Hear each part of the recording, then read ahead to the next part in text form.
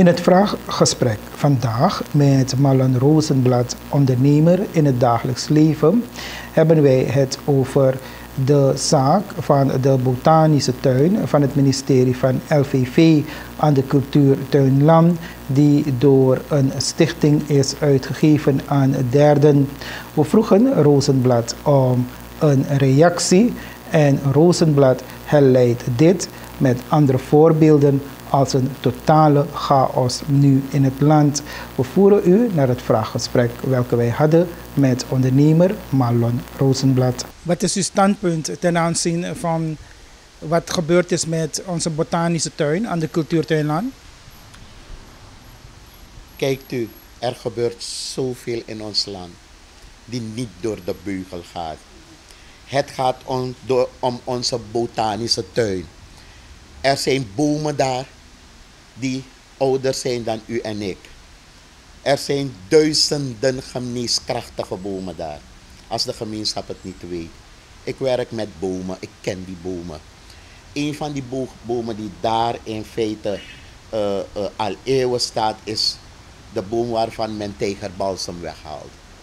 Er zijn tonkabomen, er zijn, uh, noem maar. Heel wat cacaobomen daarop. Er zijn cacaobomen, het is ook een geneeskrachtige plant. En dat alles wordt verkaveld ten gunste van uh, ja, een stichting. Laten we voorzichtig zijn, want je hoort een stichting, maar op een gegeven moment, als je hoort wie erachter staat, dan gaan je wenkbrauwen een beetje fronsen. Maar uh, dat is die trend nu in Suriname. Iedereen graait, iedereen als een nasweeftikkie. Uh, niemand houdt zich bezig aan regelgeving meer in het land. Ik moet die verklappen, ik heb daarnet uh, de buurtmanager bij me gehad, als dat mag. En de buurtmanager heeft me voorgehouden uh, dat ik mij bijvoorbeeld schuldig heb gemaakt aan vernieling. Ik heb hier naast mij, ik heb een bloempot die men paal langs de as van de straat heeft gezet. De buurtmanager kwam bij me en ik zelf persoonlijk vind ik dat de buurtmanager partijdig is geweest. Want verkeerstechnisch, ik ben geen verkeersagent, kan je niet een bloempot zetten aan de as van de weg. Je moet een vergunning voor hebben. Ik heb de politie gebeld, zeg meneer. Uh, elke ochtend wanneer ik kom, heb ik die mensen van de casino die hier parkeren. Ik heb er geen moeite mee, want de straat is die van mij. Uh, en het is voor mij zeer moeizaam om s'morgens in mijn inrit te komen, beambte. Ik heb 115 gebeld. 115 is gekomen en ze hebben de desbetreffende persoon die die bloempot heeft geplaatst, hebben ze aangesproken. En de persoon heeft beloofd om het te verwijderen. Want verkeerstechnisch is het niet goed. Aan de as van de straat, je moet het van een meter van de straat. En je moet in het bezit zijn van een vergunning. Ik kom elke dag met overlast. Tot mijn verbazing wil ik gisteren wou ik vertrekken vanuit de kapsalon en er is een auto geparkeerd achter me. Waardoor ik niet kan vertrekken, want er staat een bloempot voor mijn auto en er is een auto achter me. Dus ik stap uit mijn auto, natuurlijk een beetje boos, en ik poes bloempot puro. In feite is die bloempot illegaal daar. En die buurtmanager, die, waarvan ik vind dat ze partijdig bezig is, vind dat ik vernielingen heb gepleegd. Wel, Malo Rosenblad is niet iemand die de regels van de samenleving niet kent.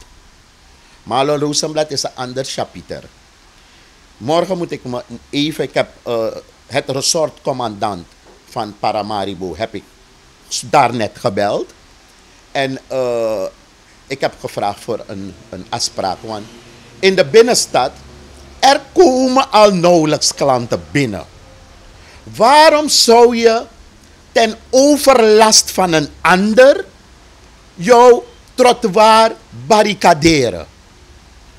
Dan jaag je in feite klanten weg. Begrijpt u? En als ik niet uit mijn inrit kan komen en er staat een illegaal bloempot daar, wat ik nooit zou doen, ga ik het verwijderen. Als ik straks vertrek uit de salon en iemand gaat achter me auto parkeren, En ik ga niet eruit, verwijder ik het weer. Omdat het daar illegaal staat. Ik wil u alleen maar aangeven dat onze samenleving ter onder gaat aan chaos. Iedereen doet maar wat zij hebben willen in dit land. En liegen en bedriegen en misleiden, oplichten, is aan de orde van de dag. Al deze dingen zijn vervallen tot cultuur. Het zijn gewoontes geworden. Er zijn families die deze handelingen zich eigen hebben gemaakt. Dus corruptie. In Nederland zou je het niet doen. In Nederland ga je geen bloempot aan de as van de weg zetten, omdat het verkeerstechnisch. Ik heb daar net gezegd aan de politie: kijkt u, laat het vlak daar, u hoeft het niet weg te halen. Was maar van bosse in dat dede, dat bekijken jullie net. Het is te dichtbij aan de as van de straat. Iedereen blokkeert zijn of haar mofodoro. Hoe wil je dan klanten hebben? Of je hebt weer anderen die voor die crisis al geen klanten hadden. Laat staan nu. Begrijpt u waar ik naartoe ga? Voor die crisis hadden bepaalde figuren in de samenleving al een crisis. Het ging al niet zoals het moet. Laat staan nu. Tot ergernis van hun molesteren ze anderen waarbij het nog een beetje loopt. Want gelooft u, Angagado Blessie, het loopt nog een beetje bij ons. Omdat kwaliteit iets is dat niet over straat te rapen is. Kwaliteit blijft. Het is wel moeilijk, eerlijk, het is moeilijk om de eindjes vandaag aan de dag aan elkaar te knopen. Vandaar dat u ziet dat iedereen graait. Iedereen pakt, iedereen wat er te pakken is, pakt men. Er zijn uh, families die, waarbij de hele familie in feite meedoet aan corruptieve handelingen. Begrijpt u? Dus op een gegeven moment zeg je, als dit soort dingen doorgaan in de samenleving, dat is de hek van de dam. Voetgangers kunnen niet lopen. Bronfixer even maar moest manoeuvreren even. Aan mij tot aan begip. Smiddags, gisteren toevallig, kon ik niet uit mijn inrit. Begrijpt u? En uh, de eerlijkheid gebiedt mij dat uh, als dit zo doorgaat, dat we zelf gaan zien wat we ervan over zullen houden. Alleen maar ellende. Wij gunnen elkaar het daglicht niet. Wat er nu gebeurt in de samenleving, alle onheil, alle afgravingen, alle uh, uh, uh, dubieuze handelingen daarachterin van cultuur.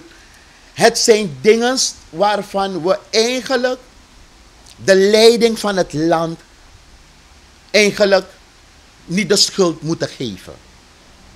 We moeten ooit een keertje zeggen, willen we Suriname verbeteren, moeten we bij onszelf beginnen. Laten we beginnen om te kijken wat wij kunnen doen om dit land en de samenleving te verheffen. Laten we geen afgunst hebben op anderen, omdat anderen het een beetje beter hebben. If a man want takrusiki ibowaning. Je ziet ook op Facebook bijvoorbeeld. Facebook bijvoorbeeld is vervallen tot mamjo. Eén persoon komt om geld te lenen. Je leent, je geeft, je helpt waar nodig. Er komen nu elke dag bijvoorbeeld mensen die vragen naar Marlon, geef je nog gratis kapperscursussen? Ik zeg nee, die tijd is voorbij. Ik stop mijn energie, mijn kost, je energie? Ik stop mijn energie, mijn kostbare energie, stop ik in andere projecten waarbij ik ervoor moet zorgen om met mijn kop boven water te blijven. En dat moment dat je weigert, zeg hé, hey, ik kan vandaag niet sponsoren. Ik kan u vandaag niet uh, dat geven wat u wilt. Begrijpt u? En dan houdt het gelijk op voor je, dan ben je gelijk de slechtste. Het mag nooit zo zijn dat je yang voor 1 januari bemit 30 december. En if 31 december als man om een dan moet je de persoon hangen. Zo gaan we niet om met elkaar in deze samenleving. Kijk hoe, hoe wij omgaan met elkaar in het verkeer. Ziet u ergens dat een stagiaire wordt aangereden? Nee. Maar u ziet wel dat keer op keer dat jongens op bronfietsen worden aangereden. Weet u hoe vaak ik als autobestuurder rekening houd met mijn medeweggebruikers? Anderen doen dat niet.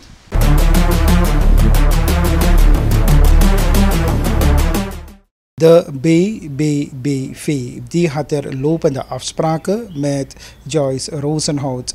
En Joyce Rosenhout die is dan de directeur van NVSMS die die eerder deze week op non-actief is gesteld door de Raad van Commissarissen, omdat men ervan uitgaat dat er sprake zou zijn van malversaties en welke zij willen laten onderzoeken. Nou, de bond die had er lopende afspraken met deze directeur en zij willen weten hoe verder met deze afspraken. Vandaar dat er dan een dringend schrijven is gericht naar de minister van OWNT, waaronder nu communicatie en transport valt. En de minister die heeft er hierop gereageerd dat de bond moet terugkoppelen met de waarnemend directeur van NVSMS. Nou, dat is nog niet gebeurd, maar wat schetst de verbazing bij de bondsvoorzitter, de heer Stefanus Ligori, is dat hij ook per vandaag gevraagd is om zijn kamer te ontruimen en de sleutels in te leveren. Wij van TBN Prime spraken met hem en wij voeren u naar dat vraaggesprek. Stefanus Ligori, voorzitter van de Bond Belanghebbenden Binnenlandse Vaartdienst. U hebt gisteren een spoedschrijven gericht aan de minister van Openbare Werken, Transport en Communicatie, de heer Jeremy Ramda, waarin u in feite vraagt hoe verder nu uh, de SMS-directeur Joyce Rosenhout per direct is uh, op non-actief is gesteld, want jullie hadden lopende afspraken met haar. Wat is het antwoord van de minister geweest? Uh, inderdaad, we hebben een schrijver gericht. Die schrijver kunt u misschien zo met in beeld nemen. Laat me ervan zeggen, rond vijf over twee precies heb ik die schrijven hier uh, gericht, althans achtergelaten voor de minister of zijn secretariaat. Uh, en ik heb een, uh, een noot gemaakt met spoed. Dus het heeft een spoedkarakter. En ik reed dan weg nadat ik het heb achtergelaten. Ik reed dan weg, onderweg, terug naar werk. Ik was aan het parkeren, mijn auto, en toen ik een, kreeg ik een telefoontje van het secretariaat van de minister dat meneer Ligori heeft hier een schrijven liggen. Ik zei, oh, zo snel, want ik heb net een schrijf achtergelaten. Ja, de minister heeft er met alle vervarendheid eraan gewerkt. Ik zeg, mooi, mooi, mooi. Ik zeg, ik ben op kantoor, je mag het van me brengen of althans laten bezorgen. Ja, dat is geschied. Rond vier uur kon ik beschikken over deze schrijven. Dit schrijven, sorry, uh, van uh, de minister. Waar de minister duidelijk aangeeft dat hij ons verwijst naar de waarnemend directeur van NVSMS. Aan de hand daarvan, van het gesprek, zou uh, de waarnemend directeur hem moeten rapporteren. En indien nodig zou hij, dan, zou hij ons als bondsbestuur uh, dan ontvangen voor een spoedaudiëntie zoals we dat hadden aangevraagd. En een heel belangrijke zin die ik even wil voorlezen voor uw kijkers is dit, is het volgende.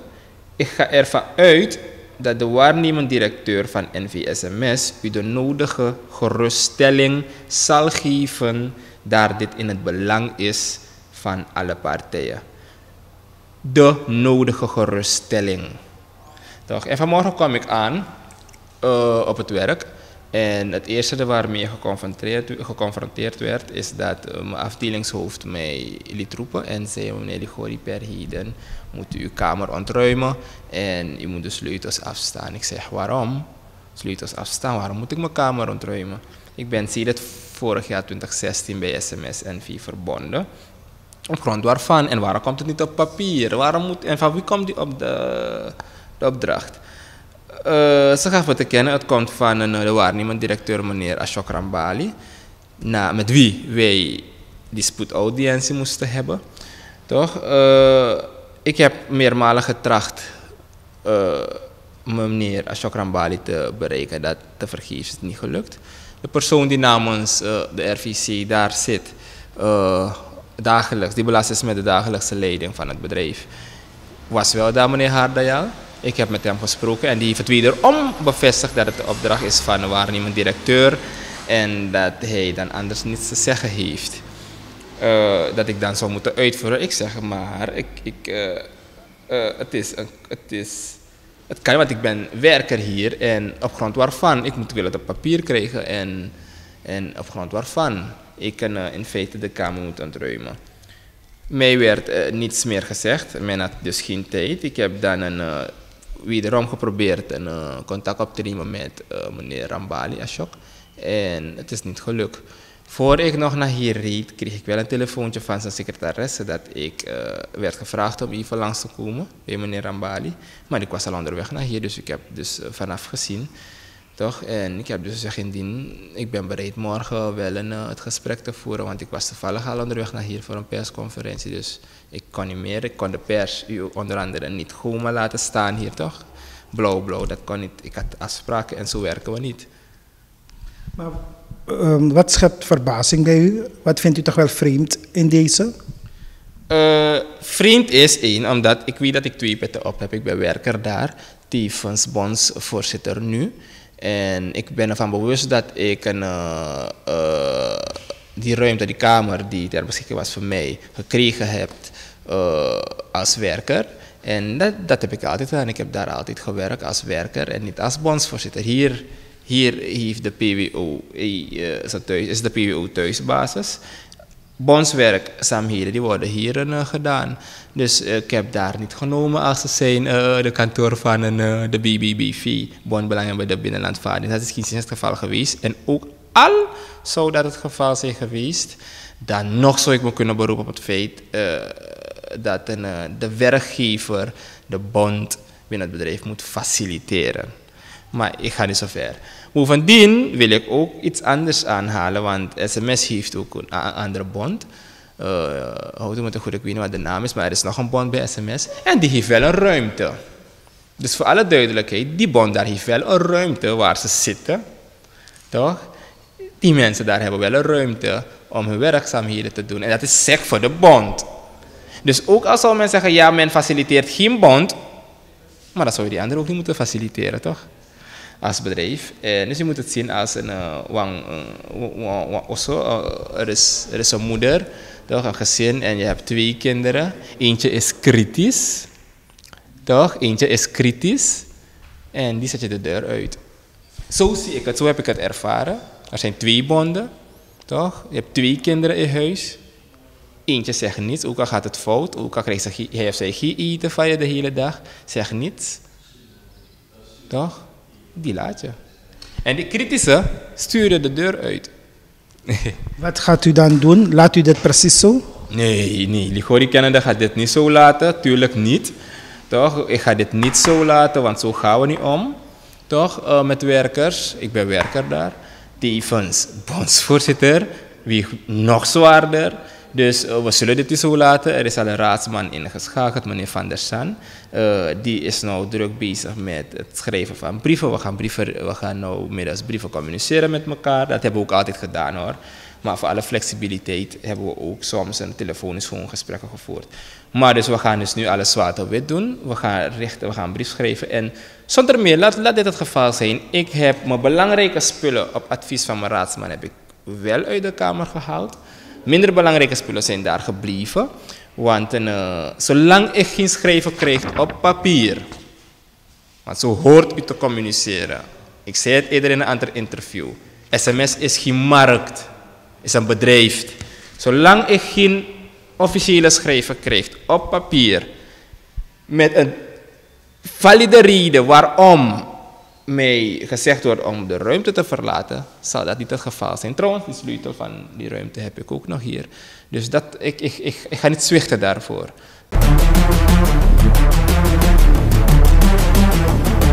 Op 26 februari worden er hoofdbestuursverkiezingen gehouden bij de vereniging Aria de Waker.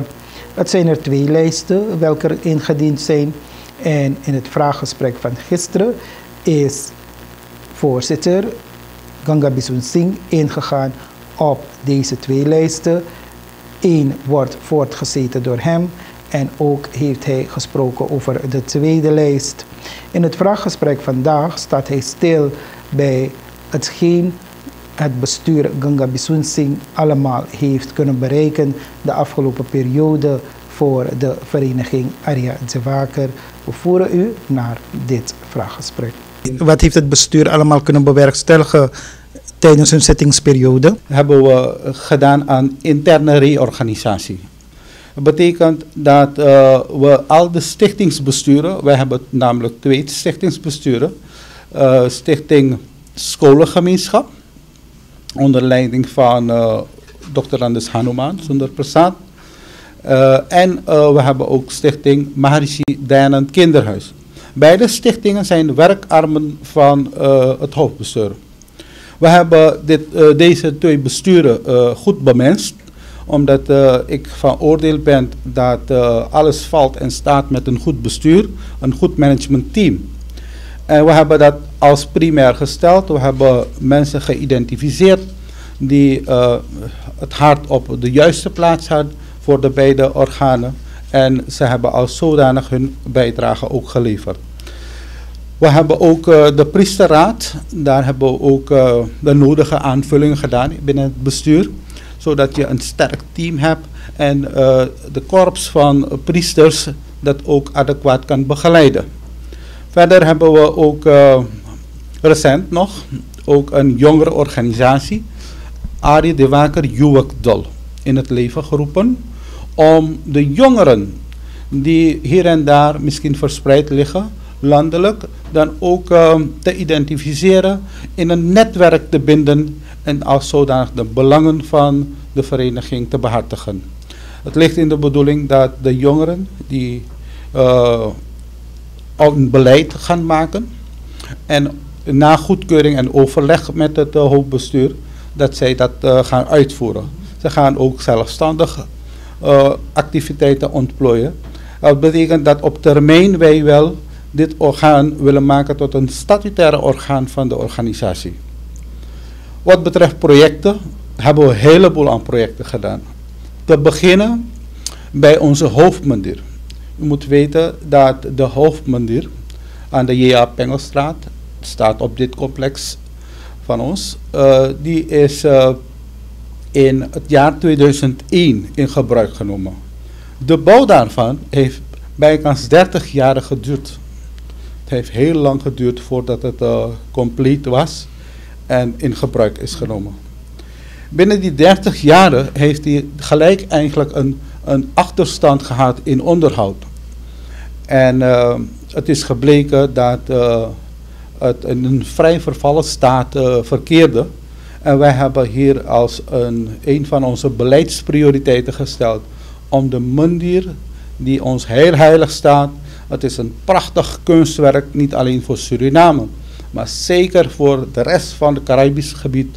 Van het Caribisch gebied is het een prachtig kunstwerk die wij uh, die plaats moeten geven die het eigenlijk verdient.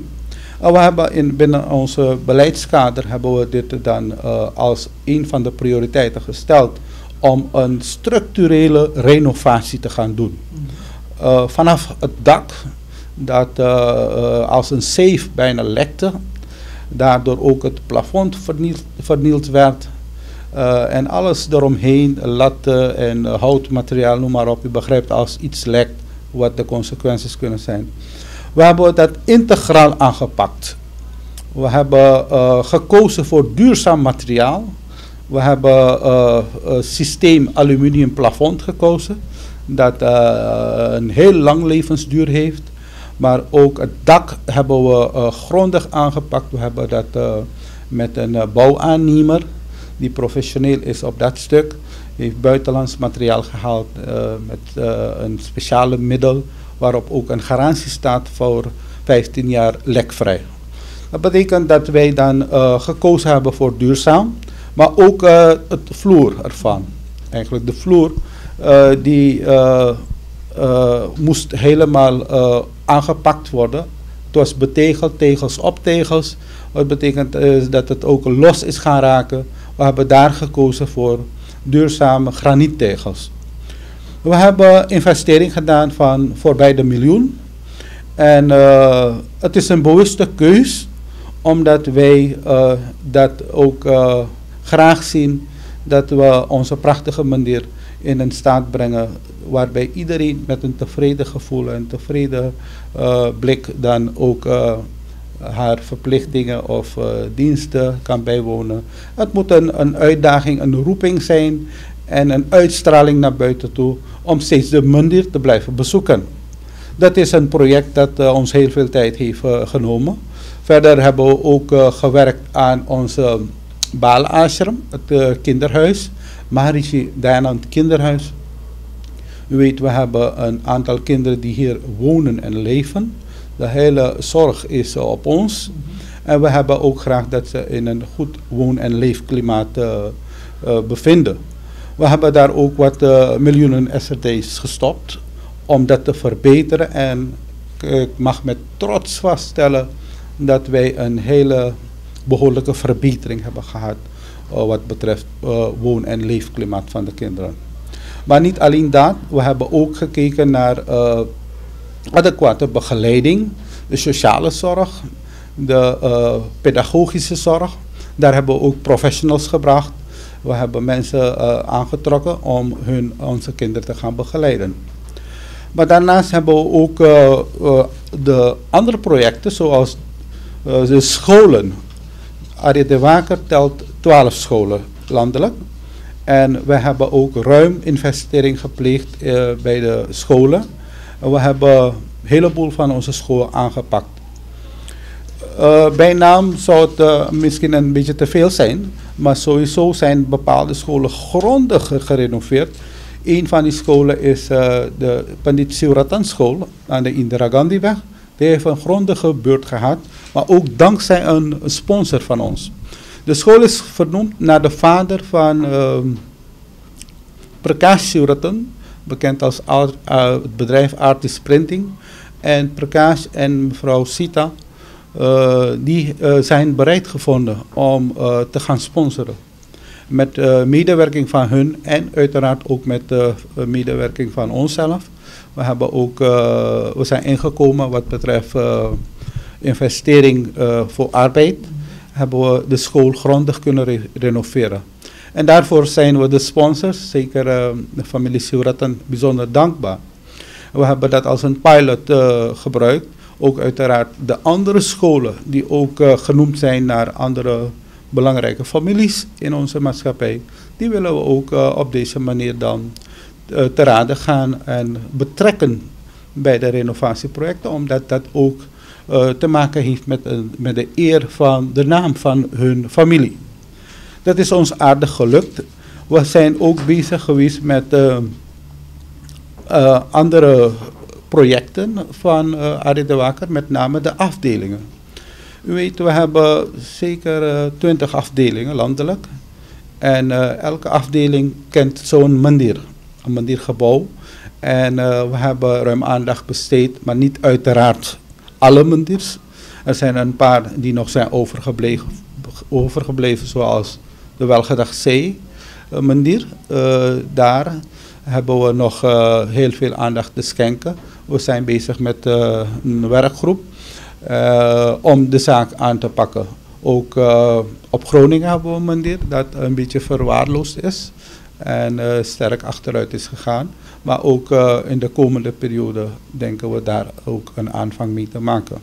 In elk geval, hebben we eh, ruim schoolse aandacht besteed ook aan alle afdelingen. Ook uh, wat betreft de interne organisatie. We hebben besturen binnen de, de, afdelingen hebben we verkiezingen gehouden. Zodat een bestuur daar aan zit dat draagvlak heeft. Je kan niet besturen hebben. We hebben zeker geconstateerd en geconfronteerd zijn we met besturen die twintig en, uh, jaren of langer aanzaten. Zonder dat er ooit een verkiezing werd gehouden. We hebben dat weggewerkt omdat wij zeggen van nee, je moet voor doorstroming zorgen. Je moet andere mensen ook de gelegenheid geven om hun bijdrage te leveren. Zodoende vanaf uh, Kommerwijn, Wanika tot en met Nikeri Niet te verwaarlozen Nikeri hebben we heel veel aandacht besteed. We hebben vijf mandirs uh, van Arya de Waker in het district Nikeri. En we hebben alle mandirs daar bezocht. Met alle afdelingsbesturen hebben we gesproken. We hebben een overlegorgaan gemaakt dat uh, rechtstreeks contact moet onderhouden met het hoofdbestuur. U begrijpt, het gaat een beetje moeilijk om rechtstreeks met elk afzonderlijk bestuur te gaan praten. Wanneer er een coördinatieteam is, dan werkt dat veel gemakkelijker. We hebben ook de priesterraad hebben we daar in het leven geroepen, want er waren priesters die niet in een raad waren. We hebben een priesterraad daar in het leven geroepen om, om daar coöperatief met elkaar de belangen van de vereniging adequaat in te, dienen. Het is ons aardig gelukt, het is een heleboel. Uh, we hebben nog meer dingen gedaan, zeker wat betreft de scholen. En dat is een uitdaging, misschien moet dat ook gezegd worden. We hebben binnen onze scholen, zeker op de basisscholen, het vak Engels geïntroduceerd. Ja, uh, als pilot. En we zijn begonnen uh, bij, de, bij de kleuters. Uh, eerste leerjaar. het is niet de eerste klas, maar het eerste leerjaar van kleuter. Daar zijn we begonnen. En dit is onze derde jaar. We hebben twee jaar achter de rug. betekent dat wij elk jaar een hoger leerjaar nemen. Dat betekent dat wij zoetjes aan in acht jaren denken uh, het vak Engels vanaf het eerste tot en met het achtste leerjaar te hebben gebracht. En uh, u weet, uh, onderwijs, generaal, de overheid was ook bezig daarmee. En het, heeft, niet, het is niet geslaagd eigenlijk. En het is stopgezet. Maar wij hebben dat als een uitdaging gezien. We hebben daar zwaar geïnvesteerd. We hebben consultant in de arm genomen om ons professioneel te begeleiden. En je ziet de vruchten. Dat kleintjes, kleuters, nu bijna uh, heel goed uh, Engels kunnen praten en verstaan. Dat uh, doet ons heel erg goed. We hebben ook een transparant beleid vrijwel gevoerd binnen de vereniging. Alle afdelingen die zijn verplicht op reguliere basis hun administratie, zowel administratief als financieel, door te sturen. En dat wordt allemaal integraal verwerkt. En uh, op basis daarvan kan je vertrekpunten bepalen. We hebben elke besteding die we hebben gedaan, kunnen we transparant verantwoorden. Waar zijn de gelden gebruikt en voor welk doel? We hebben ook gezorgd voor werving van kapitaal, want zonder geld kom je niet ver. We hebben gezorgd dat er kapitaalstroom is gekomen om de verschillende projecten die wij in petto hebben, dat uit te voeren. En u ziet het, de feiten liggen daar. De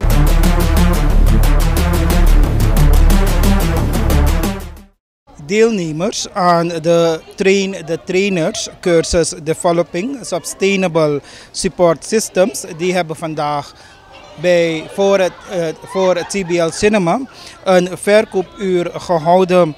En deze activiteit is een praktijkopdracht waarbij de cursisten al doende leren hoe producten aan de man te brengen. De producten van deze activiteit zullen dan ook ten goede komen aan de getroffen gebieden in het binnenland. Wij van TBN Prime Alert, we spraken hier met de waarnemend onderdirecteur, pardon, de eh, waarnemend onderdirecteur ondernemerschap. Dat is mevrouw Anita Forst Kumberbach. En vervolgens ook nog met mevrouw Rishma Kuldeep Singh, beleidsmedewerker op het ministerie van Handel, Industrie en Toerisme. We voeren u naar dit verslag. Mevrouw Anita Forst Kumberbach, waarnemend OD ondernemerschap, ministerie van HI en Toerisme. We staan er hier voor TBL Cinemas. Wat doen we hier?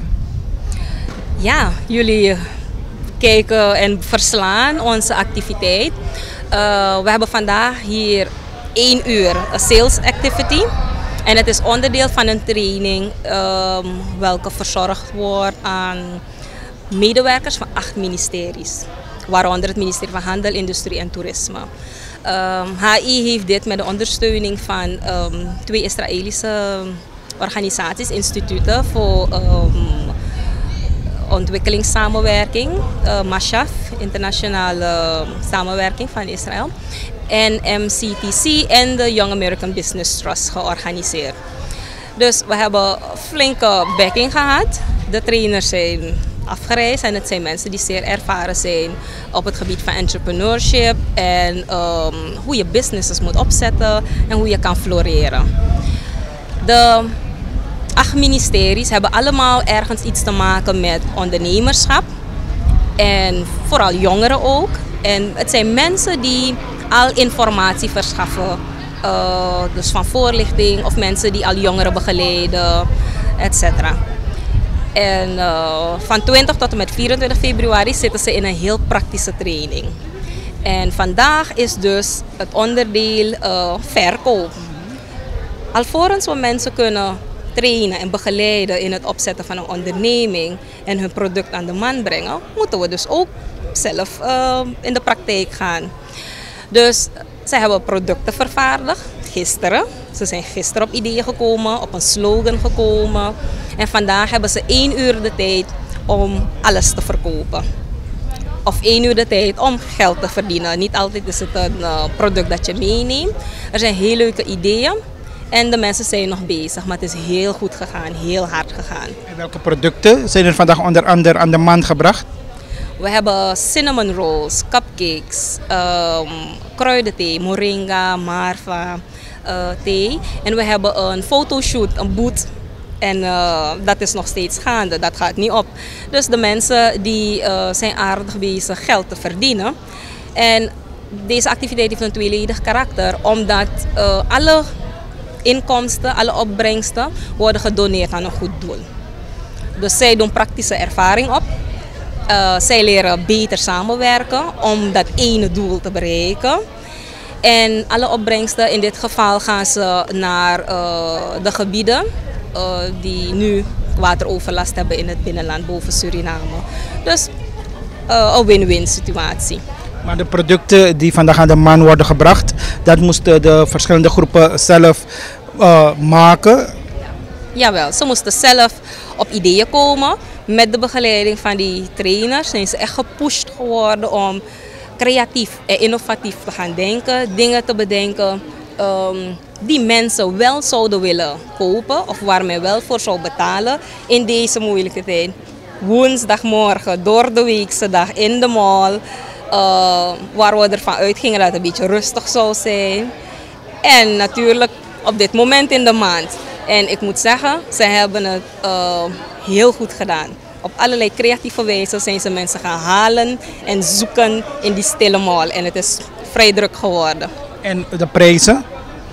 De prijzen um, zijn, laat zeggen, marktconform. Het is, het is, uh, ze zijn, kijk, de bedoeling is dat ze te werk gaan zoals een echte businessperson te werk zou gaan. Wanneer je um, die investering hebt gedaan in geld en tijd, creativiteit, dan ga je een uh, je wil wel goed op de markt komen, dus je gaat niet boven de, de marktprijs, maar het is echt marktconform.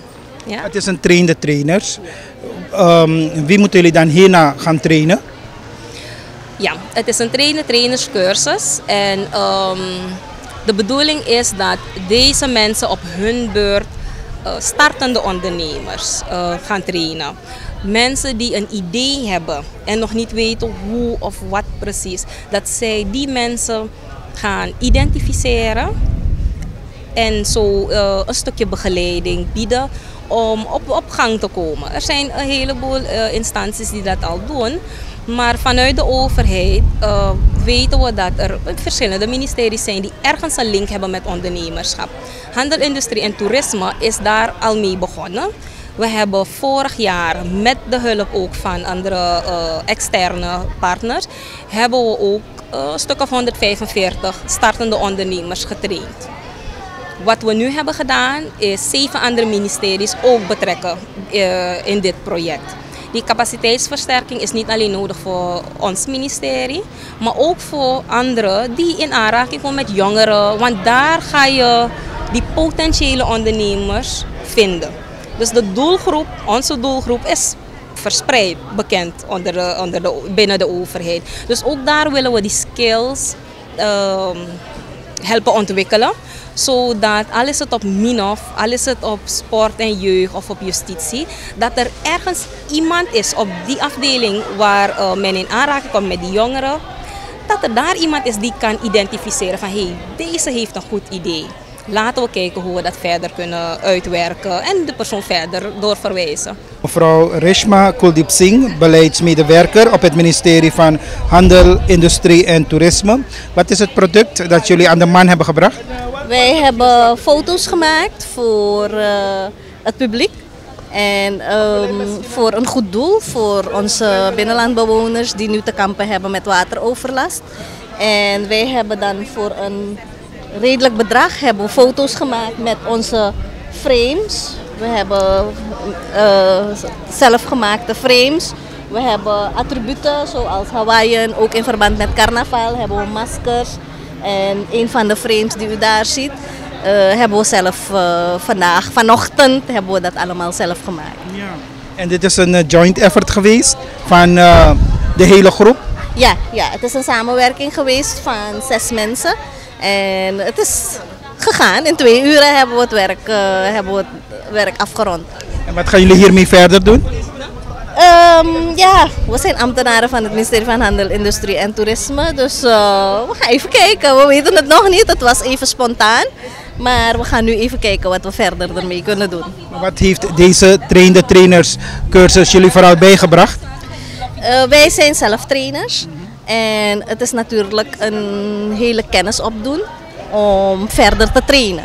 Wie gaan jullie verder trainen? De ondernemers. En uh, ik ben zelf uh, op de afdeling ondernemerschap en wij zijn dan verder de trainers van klein- en middelondernemerschap te stimuleren. En de business welke jullie vandaag hebben opgezet, er zit potentie daarin?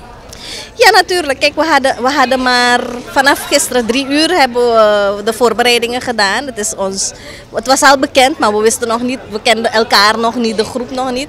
En het was natuurlijk vanaf drie uur van, hé, hey, wat gaan we doen? En natuurlijk om minder uitgaven te hebben, hebben we, zijn we innovatief geweest om ons product naar de man te brengen.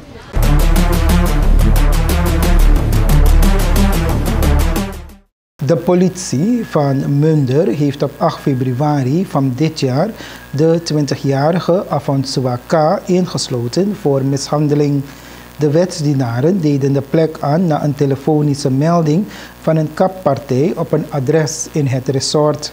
Het slachtoffer werd per een bodenambulance afgevoerd naar de spoedeisende hulp van het academisch ziekenhuis Paramaribo. Volgens verklaring van andere huisgenoten was Afon Swa bezig met het mobiele telefoontoestel van zijn oom. De oom sprak hem hierover aan. Dit viel bij hem niet in goede aarde. Hij greep naar een scherp voorwerp en een spade waarmee hij de oom verwondingen toebracht. De oom, die epilepsiepatiënt is, liep verwondingen op in zijn zij. Afonso werd aangehouden en overgebracht naar het politiebureau. Aan de kwelgeest is na overleg met een lid van het Openbaar Ministerie gratis logé geboden in het cellenhuis.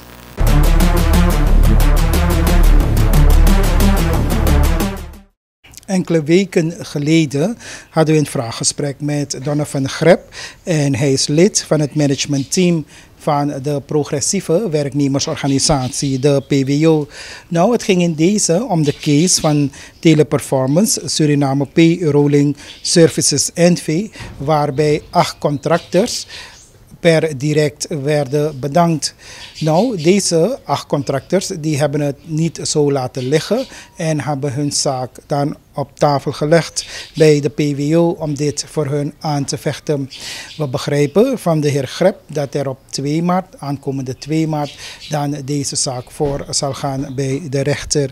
We voeren u naar het vraaggesprek welke wij hadden met Donovan Grep, lid van het managementteam van PWO. Heer Donovan Grep, lid, lid managementteam PWO. We hebben u enkele weken geleden geïnterviewd over de uh, zaak ten aanzien van Teleperformance, Suriname Payrolling Service NV, waar een aantal arbeiders plotseling de verrassing kregen dat zij uh, werden bedankt. Uh, het waren allemaal contractors en hun con contract werd opgezegd. Hoe zit het met deze zaak? Nou, um, wij hebben dus uh, geschreven naar Teleperformance. En zij hadden dus in ons eerste schrijven gereageerd. Op ons eerste schrijven gereageerd. Op die tweede schrijven waar wij dus gevraagd hebben om met ze om de tafel te zitten. Daarop hebben ze dus niet gereageerd. En ik had dus ook toen een ultimatum gesteld dat ze binnen 48 uur, nee, binnen 24 uur zouden moeten reageren. En ik had zelf ook aangegeven dat er opties zijn. Of we bij hun op kantoor gaan, of ze komen hier zo bij ons op kantoor. En ze hebben het, ze hebben het gewoon na zich neergelegd. In het vorige gesprek zei u ook dat u dit niet zo zou laten. Er zou een zaak aanhangen gemaakt worden. Is die zaak er nog? Sowieso. Um, nadat we dus uh, geschreven hebben, hebben we dus een bereidwilliging uh, gestuurd. Waarbij dus de werknemers hebben aangegeven dat ze bereid zijn te werken. En daarop is er ook niet gereageerd waardoor we genoodzaakt zijn geweest om naar de groene tafel te gaan. En hoeveel keren is de zaak al voorgegaan? De zaak gaat twee maart voor. In kort geding. U moet begrijpen, de mensen hebben geen uh, inkomen. En je zou het niet te lang moeten laten om eroverheen te gaan. Dus mm, ons advocaat die heeft mij vanmiddag een bericht gestuurd, waarbij dus de zaak 2 maart voorgaat. Wij hebben dus ook de mensen gestuurd naar ATM, maar u begrijpt, ATM kan niet veel doen. Ze hebben, ze hebben de, de mensen opgeroepen. De eerste, eerste instantie zijn ze niet geweest. Dus de tweede schrijven weer de deur uitgegaan. Uh, zij hebben dus gevolg gegeven uh, op, naar die tweede oproep. En ze hebben dus letterlijk aangegeven dus dat ze niet bereid zijn te betalen. U moet begrijpen, dit soort bedrijven, uh, Suriname Payrolling Service NV en Telem Performance, die een samenwerking hebben. En u ziet de opstelling van hun brief, dat ze dus. Uh, het brief is opgesteld door Suriname Payrolling Service, maar niemand van Suriname Payrolling Service NV heeft getekend. Maar mevrouw mevrouw Barbara Bruinhart van Teleperformance heeft getekend als contactmanager. Dus u begrijpt, daar ziet u al dat Wamchin. En dit soort bedrijven creëren dit soort situaties puur om, op basis van het feit dat ze verantwoordelijkheden van zich af willen doen. En ik heb het aangegeven, wij van PWO maken geen grappen. Um, wij hebben dus ervoor gezorgd dat de mensen juridisch bijstand hebben gekregen en dat de zaak voor het gerecht uh, uh, komt. En wat wij ook hebben gezegd van, dit soort malafide bedrijven, er moet gewoon afgerekend worden met hun. Ik heb geen andere benaming. En nota bene, uh, Roy Mee, ex-directeur van de belasting. Je gaat niet zo om met werknemers. Je bent leidinggevende geweest, nu ben je zelfstandig ondernemer. Toch, je tekent contracten met mensen en je benadeelt de mensen. En dit zet ik op persoonlijke titel. Toch, als hij naar de rechter wil gaan, maakt voor mij niet uit. Maar ik blijf erbij dat dit soort bedrijven malafide bedrijven zijn. En wij zullen ons bijdrage leveren vanuit de PWO dat dit soort eh, bedrijven aangepakt zullen worden. Uh, we zullen even kijken hoe het met de wetgeving zit. We gaan even met de advocaat zitten. Hoe wij dus het ministerie best wel zouden kunnen aanschrijven om haast te gaan maken achter dit soort. Uh, achter, achter de wetgeving om dit soort praktijken te voorkomen. Om hoeveel contractors ging het die per direct werden bedankt? Ach, het ging om acht mensen. En je moet begrijpen, acht mensen die je brodeloos maakt. En dan moet je dan het verlengstuk van het gezin erbij gaan nemen. Toch? Misschien is ook die persoon de enige kostwinner van het gezin. Weet je wat je allemaal daar uh, creëert? We hebben zelf een geval gehad dat iemand zich bijna van kant heeft gemaakt door die situatie. Begrijpt u? Het rapport die is er. Ik heb het ook doorgestuurd naar die advocaat. En ik blijf erbij zeggen, dit soort malafide bedrijven zoals Teleperformance en Suriname Payrolling Service, die moeten aangepakt. Maar we zullen wel afrekenen met ze bij de rechter.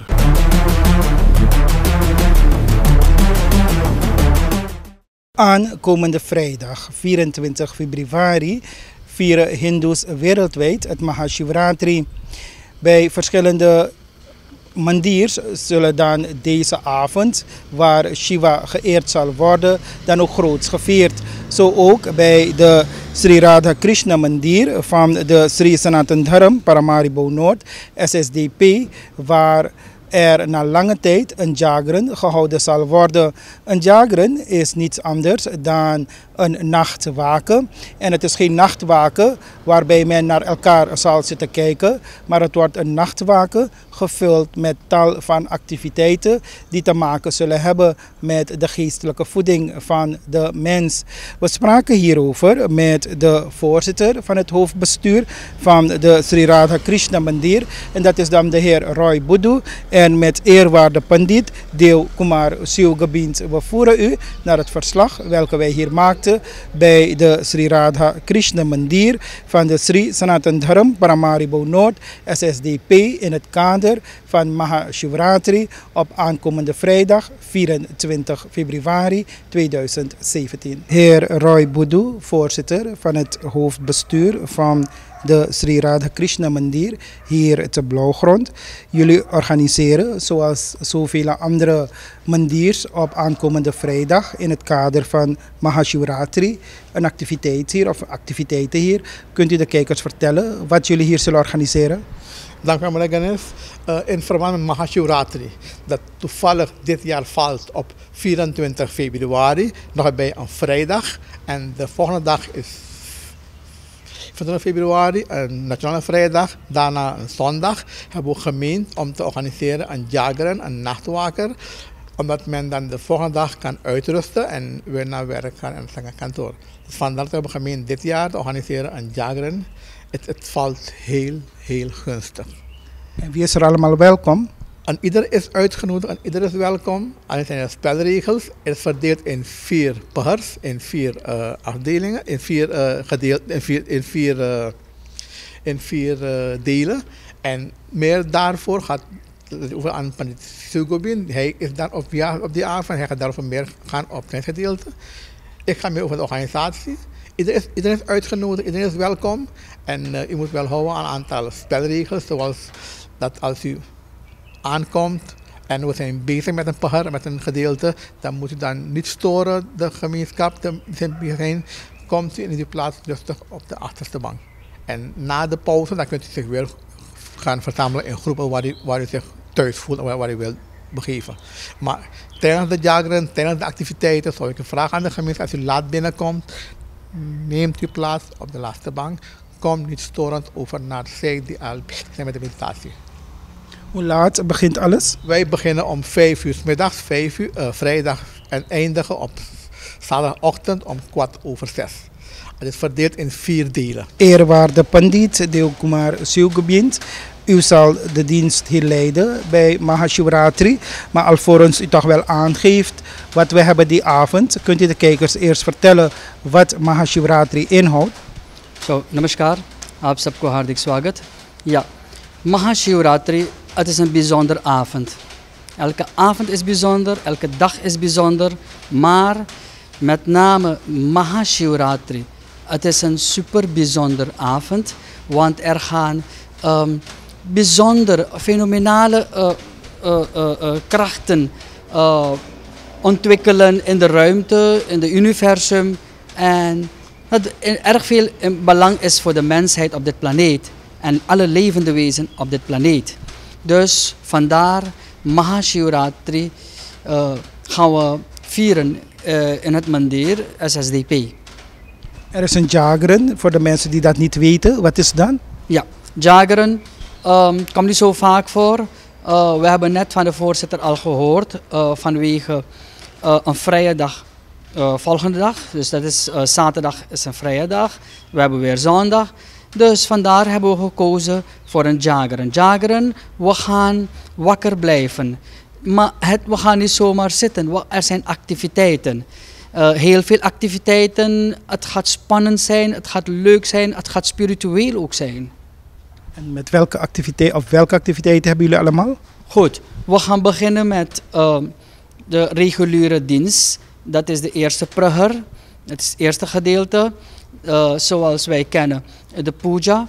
Eh, daarna persaat offeren. Zijn er mensen die persaat eh, gebracht hebben, die gaan offeren.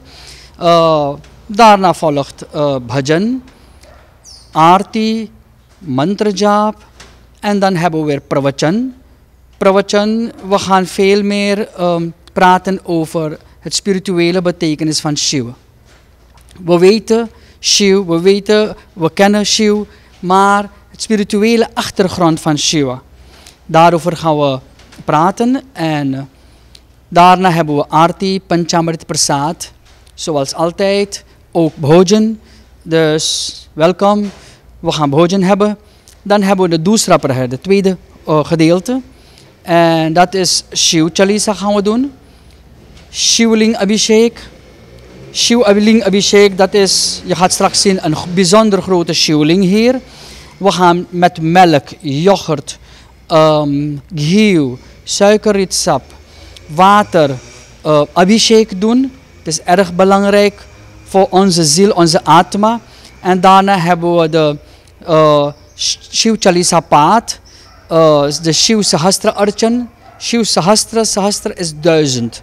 Archan, met duizend beelpatra gaan we Shiv Puja doen. En dan hebben we Sahasra Ahuti. Duizend Ahuti, duizend, met duizend namen gaan we Havan doen. Goed, en dan hebben we de volgende Tisra Praher, derde gedeelte. Dat is, dat is de Mahamrityunjay Mantra Jaap. Mahamrityunjay Mantra Jaap betekent om de dood te overwinnen. Als ik praat over de dood overwinnen, betekent niet letterlijk. Maar mensen ervaren dagelijks de dood. Met allerlei problemen. Dus Mrityunjay mantra, het is bijzonder, het is machtig. Bij mantra gaan we ook citeren. Dus iedereen uh, gaat meedoen. Je mag je Rudrakshmala meenemen. En um, ook meetellen. En de mantra, als je het uh, kent, meezingen of luisteren en mediteren op. En dan hebben we daarna um, de Tisra Praher. Dat is tussen 2 en 3,45 uur. Dat is de Mrityunjay Mantra Jaap inderdaad. En de vierde Praher is uh, weer Sankirtan met muziek. We gaan samen uh, kirtan doen. Vanaf 5 tot half 6 hebben we yoga asen. We gaan een beetje yoga doen.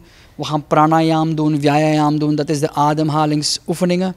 En dan vanaf half 6 tot 6 uur de Kailash Darshan Yatra, meditatie. Goed, Kailash Darshan Yatra, Kailash weten we, het is in India, in het noorden van India. Maar hoe gaan we Kailash Darshan hier doen? Kijk, we hoeven niet in India te zijn om Kailash Darshan te doen. Om Kailash te ervaren. Maar geestelijk gaan we dat ervaren. Middels meditatie, middels dhyan. En uh, daarna van 6 tot 15 uur, kwart over 6, dat is die Chama Prarthana en afsluiting. We gaan afsluiten met Chama Prarthana. We gaan vergiffenis vragen. Vergiffenis vragen voor alles wat we verkeerd, verkeerd hebben gedaan in past life, in vorige leven, of in dit leven, gaan we vergiffenis vragen. En zo gaan we afsluiten. Har Har Mahadeva. Panditji, wat moet dan toch wel de boodschap worden op deze Mahashivratri? Spiritualiteit, Adhyatma Unnati, spirituele groei. Materieel hebben we al. Materieel kunnen we zo makkelijk aankomen. Maar het spirituele dat in ons zit, toch? Hoe kan er ontwaking daar plaatsvinden? Dat is de boodschap voor die avond. Met welke oproep sluit u af? Kom jullie, het is bijzonder, het is universele kracht die we gaan aanbidden. Het is niet uh, voor een bepaalde groep, bepaalde ras, bepaalde kleur, bepaalde grens. Maar Shiva is voor een ieder. Als we praten over Shakti, dan Shakti aan ieder aanbiedt kracht, energie. Het is niet gebonden aan bepaalde geloof. Nee, het is voor een ieder.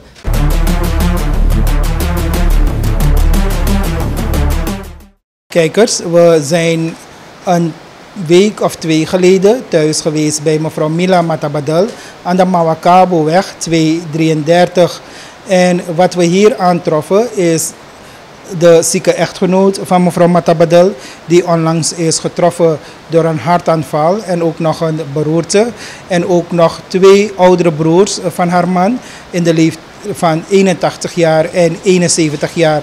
Alle drie ernstig hulpbehoevend. En mevrouw Mila Matabadel en haar dochters, die in feite ook al uit huis zijn, getrouwd zijn, die helpen een hand. Maar de totale zware zorg, die is alleen op mevrouw Mila Matabadel. Ze vroeg aan de gemeenschap om volwassen pampers en een rolstoel. En de rolstoel die is er intussen gedoneerd vanuit een veteranen voetbalploeg uit Meerzorg. Het moet zijn Meerzorg Stars in samenwerking met VVV Himmet uit Nederland. En ook de donatie aan Pampers heeft ze ontvangen. Maar een belangrijke zaak welke niet volbracht is geworden. En vandaar dat we dan wederom een oproep doen aan die gemeenschap. Is dat stukje thuiszorg. Want op dit moment is slechts mevrouw Mila Matabadel uh, verantwoordelijk voor de zorg, eenmaal 24 uur zorg van deze drie volwassen mannen. En ze is ook nog werkende buiten. Vandaar dat wij vandaag gemeend hebben om wederom thuis te gaan bij mevrouw Matabadel om te vragen hoe het is afgelopen. De donaties heeft ze gehad, alleen dat stukje thuiszorg is weggebleven. Vandaar dit vraaggesprek met mevrouw Mila Matabadel. Mevrouw Mila Matabadel, Achalantor Gharefin Sailibati. eerste दफ़े जब हम आई रही तो वही जोन आप बोलते हैं जोन आपके प्रॉब्लम है तो आदमी और दुई गो बड़कू लोगन जोन के आप जोन तीनों बीमार एंड आपके सौरख है तीनों के um, op ik had gechit mangere gemeenschap से waaronder volwassen pampers और एगो rolstoel hulp आयल है जी हाँ भाई एगो वो मिलल है रोल स्टूल मिलल हैगा और पैम्पर्स जनतन लोग भाई बहन हमार लाई के हमें हमें हैप्पी करे बा सब कुछ जैसे वो सबके रहा वैसे ही हैप्पी करे हम बहुत धन्यवाद सबके देला कि सबके कमाई में बरकत भगवान धरे वन देख ऐसा चीज़ हम ना सोच ले रही मर हमार खरतीन जनता लोग देख सुने बा। म खाली एगो हमें ऊ ना मिलल हैगा रखवा ना मिलल है। वहाँ हो सके शायद कोई भाई बहन अबे जो सुनत हो तो शायद अबे कोई हैप्पी कर सके हैगा और वेल पैम्पर से हमें हैप्पी करे बा। और हम वही बोले हम पैसा कौरी ना मांगीला। हम पैम्पर्स मांगते रोल स्टूल वो दोनों चीज़ हमें वेल मिल गया हैगा जैसे हम बहुत ब्रेती बाटी और जो भाई लोग हमें दिल या बहन लोगन हम सबके बहुत धन्यवाद करीला सबके कमाई में बरकत धरे भगवान कि देख आज ऐसा मनई लोगों के खाद सब हैप्पी करे बा भगवान सबके बहुत भलाई करे dus यही माते ही बोले आपसे भाई Kijkers, even vertalen voor u in het Nederlands. We zijn thuis voor de tweede keer bij mevrouw Mila Matabadel. En voor de mensen die het verhaal niet kennen, mevrouw Mila Matabadel die heeft de zorg over haar zieke echtgenoot en twee oudere broers van haar echtgenoot. Het gaat om een 81-jarige meneer en om een 78 jaar, 78-jarige, 78-jarige bao. Na, oh, Ariwala? Oh, 71. Uh, ik vroeg even aan mevrouw Matabadel kijkers. Het gaat om twee oudere broers van haar man. 71 jaar om 81 jaar.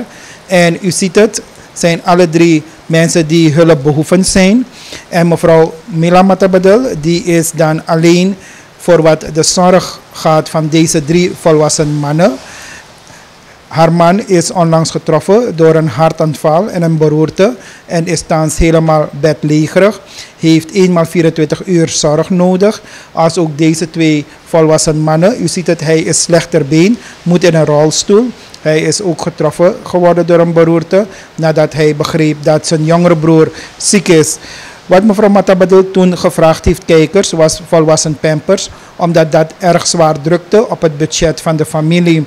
Er is hulp gekomen vanuit de gemeenschap in het vorm van donatie van pampers, want mevrouw Matabadil die vroeg niet naar geld. Waarnaar ze vroeg was pampers voor de drie mannen, omdat dat zwaar drukt op het budget van de familie. En ook nog een rolstoel, welke ze dan onlangs door een veteranenvoetbalvereniging. Als ik het goed heb, dan moet het zijn Meerzorg Star. In samenwerking met VVV Himmet hebben ze dan een rolstoel gedoneerd voor de familie. Wat uiteindelijk, wat in feite is weggebleven. En mevrouw Matabadel is dankbaar, helemaal uit het hart, dat mensen uh, zijn afgekomen op haar hulpgeroep. Men heeft in voldoende mate pampers gedoneerd voor de familie, ook nog een rolstoel. Maar wat wel is weggebleven, is dat ze de thuiszorg niet heeft gehad. Vanuit SZF krijgt ze wel, maar slechts één uur.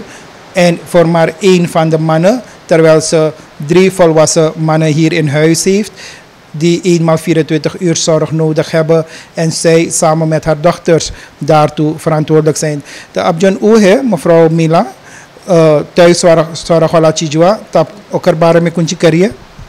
तो कोई हमें happy they ही सकता है कोई भाई या बहन जो सुनत हुई तो हमें हैप्पी जो दे ही सकता है तो वो बहुत धन्यवाद रहत हमार खंती से।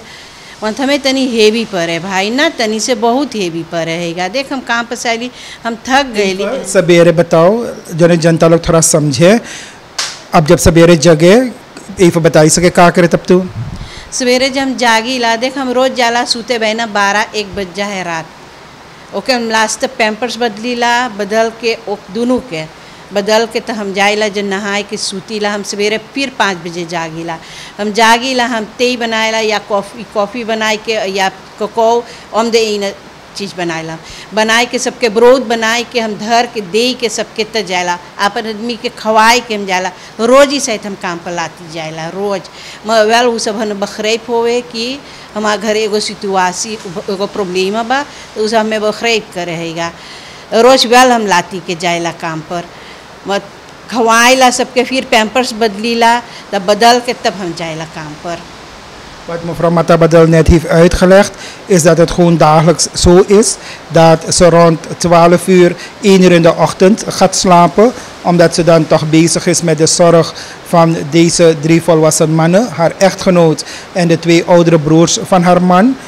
S'morgens staat ze dan weer om 5 uur op, zorgt ervoor dat ze dan hun uh, klaargemaakt worden, gebaat en gepoetst zijn. En ook nog voor ontbijt zorgt. Daarna vertrekt ze richting werk. Ze komt haast elke dag laat aan het werk, maar ze heeft gezegd dat er toch wel rekening wordt gehouden met haar situatie door haar werkgever, door haar baas, omdat men weet in wat voor situatie zij thuis heeft. Vandaar dat ze toch wel dringend wederom hulp vraagt. Dat of er nou instanties zijn, of er nou personen zijn die kunnen helpen, dat ze toch dat stukje thuiszorg kan krijgen. Er dan een hele grote last van haar wordt weggenomen. जी हाँ भाई जोन बोल बाटे जो एगो मिल जाते सर कोई भाई बहन ये में हेपी कर देवत तो हम बहुत धन्यवाद करती कि तनी समय तनी हल्लुक हो जात बहुत ये भी परे है गाँव में हम सोची कितना दिन लेख हम करबे हम भी लेते होइला कोई जब भाई बहन या सुनत होइगा जब मैं हैप्पी कर देवत एगो तो सौरख से तो हम बहुत धन्यवाद करती। वही माती बोले, भाई, और जे जे जे हमें अब्बे लेख मदद करीबा हम बहुत बहुत, हमने यानी कैसे हम अपन फल हाथ से हम ओके धन्यवाद दिला। या दस echt हम बोलीला कि हम ओके बहुत बहुत धन्यवाद दिला कि वो सब हमार बात सुन के हमें सब हैप्पी करे बा। दस, और हम कौन सी बोली? वही धन्यवाद के सिवा तो हम कुछ ना कर कुछ ना बोल पावे Mevrouw Matabadel, nogmaals, kijkers, vraagt aan die gemeenschap om toch wel de hand over hun hart te strijken. Te kijken naar mogelijkheden zodat ze dat stukje thuiszorg krijgt.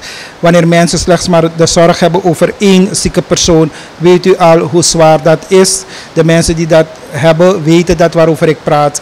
Last dan drie volwassen mannen die eenmaal 24 uur zorg nodig hebben. En zij is nog werkende. Ze moet alle werk thuis doen. Daarna werkt ze ook nog buiten om toch wel te verdienen. Uh, wat extra inkomen in huis te hebben. Vandaar, kijkers nogmaals, vraag ze aan die gemeenschap haar te helpen met dat stukje thuiszorg.